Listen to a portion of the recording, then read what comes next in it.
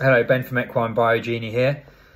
Um, this is video two, um, and in the last video I said I would explain uh, about what we can do as part of our biosecurity measures. Now, we have equine facilities that vary hugely.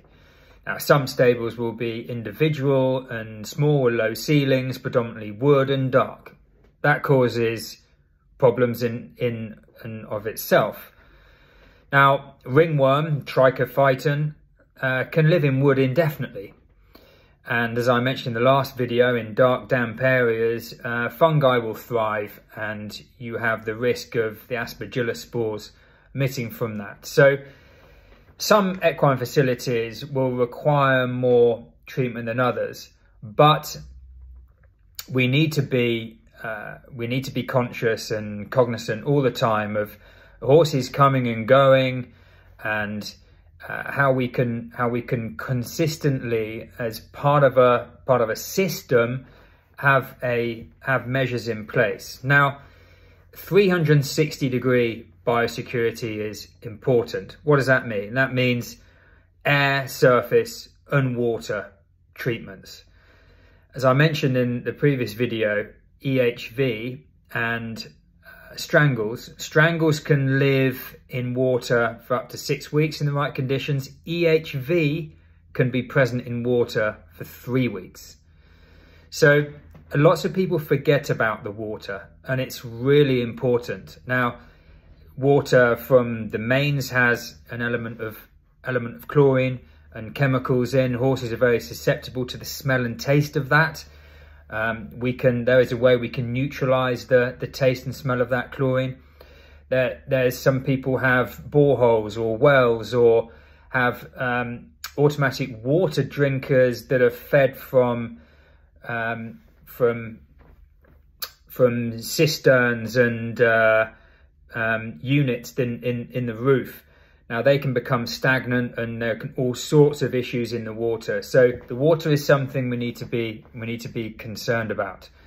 Surfaces and uh, general systems of biosecurity when you're you know on a day-to-day -day basis, dipping bits and bridles, for example. Um, horse comes in from a piece of work, um, you come in, you take the bridle off. What do you do with the bridle? It's been in the horse's mouth. That bridle may go onto another horse. Um, dip the bridle into into an appropriate disinfectant. Uh, when I say appropriate, that's something I'll come on to um, because that's a, a, massive area of concern. What you should be using, not for, you know, not only for the safety of your horse, um, yourself, and the and the environment for that matter.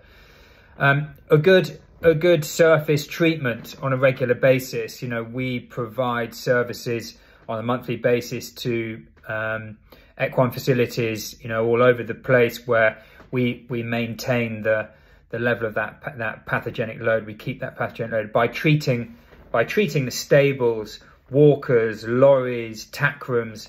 You know, you you don't know where those equine pathogens are likely to like to exist. So having something um, like spraying spraying down your horse's feed bins, you know, focusing on um, the the walls of the stables and um, the corners and uh, the the taking the bedding out from the sides and spraying down the corners of the stables where let's not forget um, this is where the horses are spending most of their time.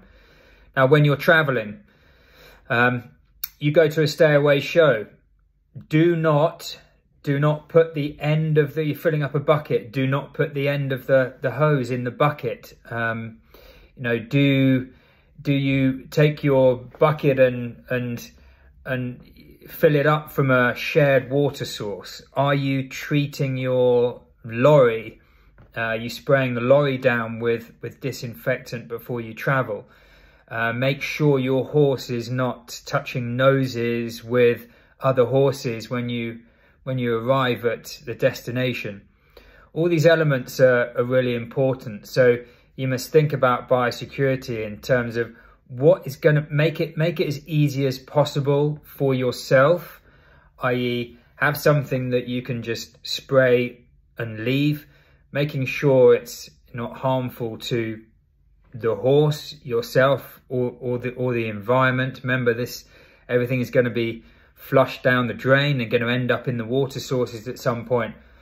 Now, in the absence of getting your facility tested, assume these equine pathogens are going to be going to be there. And remember, we are we're concerned about bringing down and and suppressing that pathogenic load in the environment. So spraying down, dipping bridles in, uh, or spraying the bridles down after use, using using products on your on your boots and on the tack. So when they're swapping from horse to horse, you're you're preventing any you know ringworm or other or other bacteria getting from one horse to the other.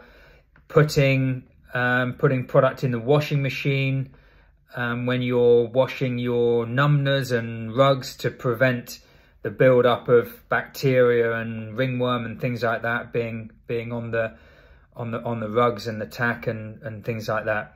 You know, all all these elements are really important, and don't forget about the airflow. The airflow in your in your facility and where the air's coming from. If you're you're mucking the stables out, when you muck the stables out and you're putting the muck into a trailer or onto a heap, where's the prevailing wind? Is the wind if you've got the if you've got the muck heap upwind of the stables, is the wind blowing across the muck heap and then blowing pathogens that are that have that have built up on that muck heap blowing into the stables. Is that happening? Make sure it's not. These are little things you think about. Overhanging trees. Trees hold moisture. If you've got trees overhanging the, the, the window of your stable, you're gonna you're gonna be holding moisture in the environment and then you're asking for reservoirs of fungi to, to build up in that environment. So these just are a number of things to be conscious of. In the next video, uh, I will be explaining why you should be choosing the right products to use around the facility and indeed when you go away.